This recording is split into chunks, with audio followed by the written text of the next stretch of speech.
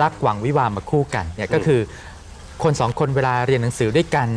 ทำงานด้วยกันเวลาใกล้ชิดแล้วเอ๊ะเวลาฉันอยู่ใกล้เธอแล้วฉันมีความสุขอ่าเวลาเธออยู่ใกล้ฉันเธอก็มีความสุขมีความสุขเออก็เกิดความรู้สึกว่าเอ๊ะถ้าสองเรามาใช้ชีวิตร่วมกันเป็นสามีภรรยากันครับอยู่บ้านเดียวกัน มีกิจกรรมต่างๆ ร่วมกันเนี่ยน่าจะดี ชีวิตจะดีขึ้นคุณหมอใช้คำว่า eros หมายความว่าไง อีรอสก็คือ Eros ก็คือความรักในเชิงความรักใคร่อ๋อรักใคร่ครับ มันเหนือกว่ากามายังไงคุณหมอ เหนือกว่าเพราะว่ามันมีความรู้สึกที่ยังอืมเป็นความผูกพัน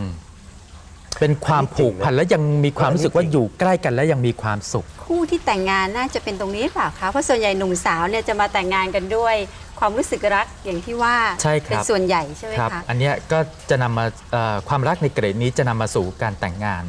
เพราะว่าอุดมคติของการแต่งงานก็คือการอืมเติมเต็มซึ่งกันและกันอืมนะครับก็คือว่าเวลาที่คนเราแต่งงานกันเนี่ยครึ่งหนึ่งของชีวิตเราเนี่ยจะหายไปแล้ว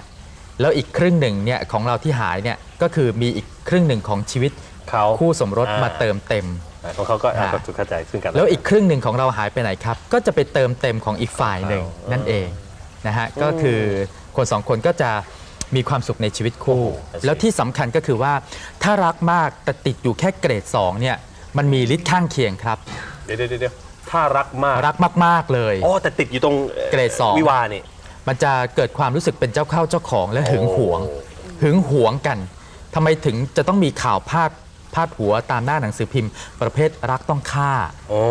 เพราะรักมากอะแต่ว่าหึงหวงกันแล้วไม่ยอมที่จะให้เขาแบบไปผูกสนิทมิตรเอ่อผูก ผูกมิตรสนิทเชื้อกับคนอื่น คนอื่น อย่างนี้ไม่ใช่แค่เติมมั้งคะเหมือนกับเอาชีวิตของเขานั่นมาน่ะเป็นสิชีวิตของเรา หรือเอาชีวิตเราไปเป็นของเขาทั้งชีวิตอย่างนั้นหรือเปล่าคะครับ เพราะฉะนั้นเกรด2เนี่ยถือว่าเป็นขั้นต่ำที่นำมาสู่การวิวาห์วิวาห์อ่า พออยู่กันไปแล้วเนี่ยเกรด2นานๆนี่อึดอัดครับ มันจะต้อง